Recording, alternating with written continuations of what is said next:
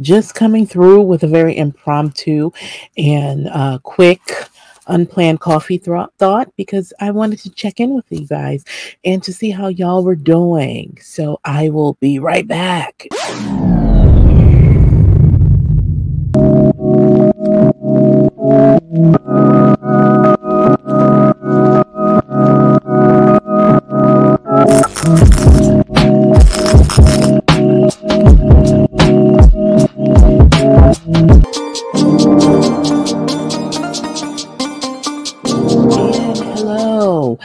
Welcome back to Coffee Rhetoric. I am your intrepid and tipsy host, Tiffani J, coming through with a very quick and impromptu coffee break thought and uh, with clashing animal ideations. Uh, I've got leopard in the background while trying to s- literally serve Foxy and Brown anyway, um, yeah, I don't really have anything in particular to talk about. I just basically just wanted to come through and um, see how y'all were doing. Um, and to say hi and to give a couple of very, very quick coffee break thoughts on this fine Saturday evening. Um, first and foremost, um, I know um, it's the most wonderful time of the year. It is the holiday season.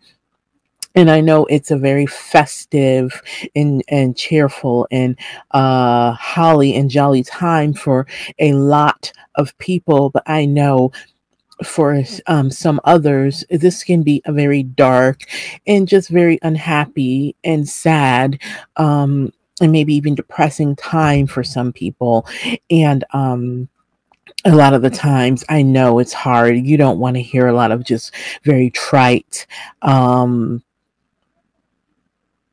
in empty uh, platitudes. Uh, you don't want to hear people gaslighting you into trying to be positive during this time of year. Because, again, I know it's not a very cheerful year for some people um, for a myriad of reasons. And so, you know, I just want to say uh, during this time of year that um, I hope those of you who, um, are in a very sad and dark place. I, I I wish you well. I hope you're doing good, and I hope you're engaging in activities um, that makes you feel okay. You don't have to necessarily feel cheerful or happy, but I hope you're doing things, engaging with things that um, make you feel good and um yeah and you're in my thoughts. Oh and also um i also uh going into the uh new year um i've if you haven't noticed i have a little new intro and so i'm trying some new things uh to help usher me into the new year. So I figured I'd kick off with a new intro. Oh, and another thing I want to talk about um, going into the new year.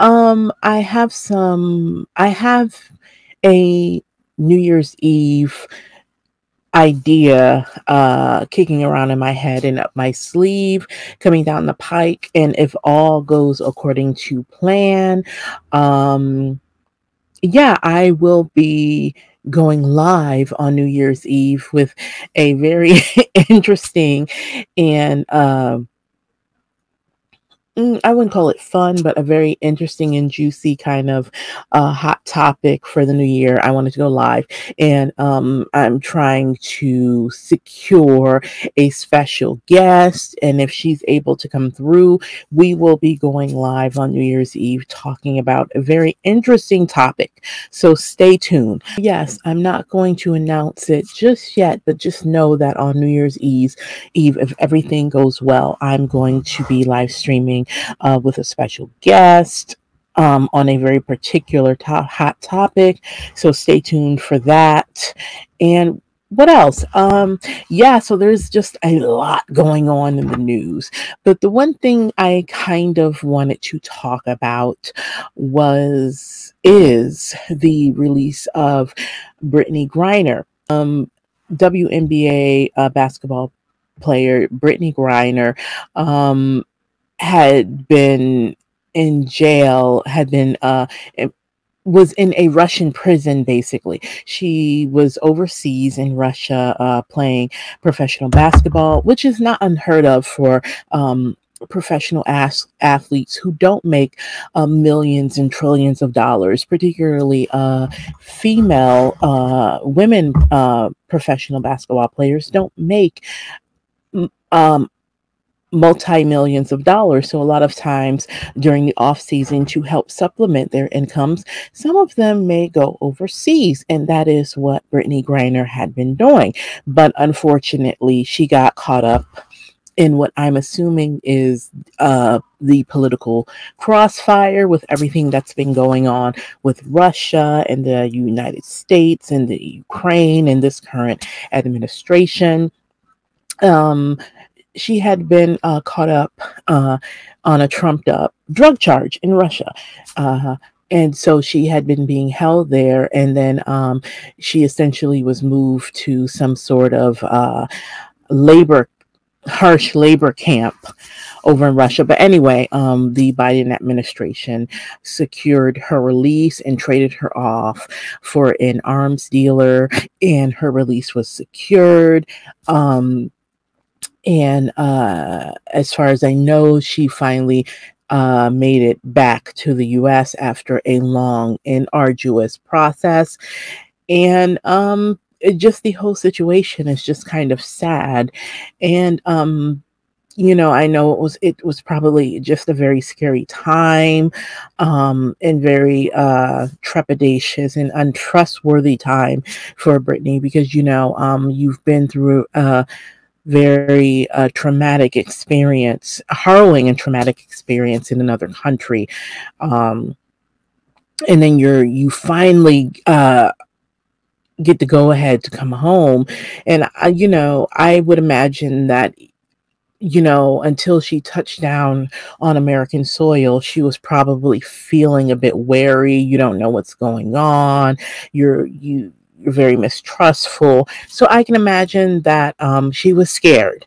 But I also imagine that she's glad to be home. She's glad to be around her loved ones. But um, yeah, it, it, it just you know the footage that was released with her packing up her things and being on the airplane and everything she looked very scared um and i know a lot of people have a lot of opinions about the trade off.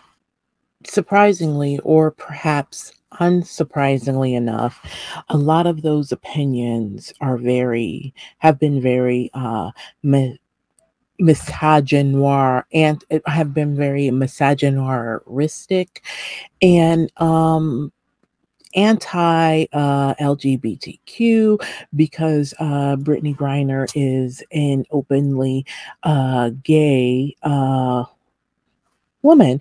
And um, I don't know, but a lot of the opinions have been very just kind of. Um, very pointed and ugly. And you know, I've been seeing a lot of just kind of very uh, right wing extreme uh, extremist comments, uh, partisan comments like calling Brittney Griner a thug, lying uh lying and the spread of misinformation about why she was being held in Russia. Just just a very a, a, lot of very ugly comments even from within our own community. Uh, but then you had people commenting on her appearance. Oh, look at her hair. And uh, she looks like Pete Davidson. Oh, she doesn't have her dreadlocks. So ha ha ha ha kiki kiki. Just a lot of just very um ugly comments. And like I said, um surprising to some, but for those of us um with lived experiences as Black women, whether you're gay, heterosexual, cis, or trans. Um, none of this is new to us because misogynoir, unfortunately, always endures, and people um, seem to always like to. Uh, relish in the um, in Black women's uh, distress. So, in any event, um, yes, I've just been seeing just a very, a lot of just very ugly comments uh, hurled towards Brittney Griner um, in her release. And uh, a lot of it has been uh, about, oh, well, why didn't you release Paul Whelan, uh, another American citizen uh, who's been uh, being held in Russia for years um, for um, uh, United States Marines veteran um, who's been being held in Russia for years um, and and being accused who was accused of being a spy. Now, mind you, in the midst of um, all that's been going on with Brittney Griner, um, Paul Whelan's name uh, hadn't been mentioned uh, at all um, until uh, Brittney Griner's release was secured. And a lot of the animus is coming from, of course, um, a lot of right wing conservatives who have chosen to make Brittney Griner's release a partisan uh, issue and have chose to uh, weaponize the issue to smear her, just make a lot of just very inflammatory comments. Now, mind you, the thieving, the thieving, uh, treasonous, uh, or orange uh, dark overlord uh, that resides in Mar-a-Lago um, had what two or some odd years to work on the release of Paul Whelan. Okay. Um, and since he's buddy buddy with Vladimir Putin, um, he had at least two years to secure the release of Paul Whelan. Up until now, conservatives have haven't uttered a word about Paul Whelan's um, imprisonment over in Russia. Um, because let's keep it real, they don't give a shit. Um, a lot of conservatives, especially the uh, MAGA leg of the Republican Party, they don't give a shit about military veterans. They don't give a shit about um, law enforcement. They don't give a shit about patriotism. But ever since uh, the release, uh, Brittney Griner's release, you have some right wing conservatives making uh, snide remarks like, oh, well, then maybe now that she's been released from Russia, she'll start, um, she'll stop kneeling during the national anthem. It's like a lot of you assholes are, are just performative patriots. You're miming patriotism. You don't give a shit about this country. And your agenda is very unpatriotic. So I find it rich that uh, you want to gaslight and uh, condescend to this woman who's just been through a very uh, harrowing ordeal. Um, you want to try to condescend to her and you want to try to gaslight her and make her feel even worse. Um, and then you have some right wing conservatives who want to start invoking the name of Paul Whelan, and they're trying to all of a sudden uh, use him as a martyr to further their nefarious ne- agenda when you haven't heard them utter a word about Paul Whelan's imprisonment in Russia at all. Um, because again, let's be fair, let's be real. They don't care about Paul Whelan's. Republicans particularly a lot of like just kind of right wing extremists. They don't care about anything or anyone except the elites in that particular cult of personality and their agenda.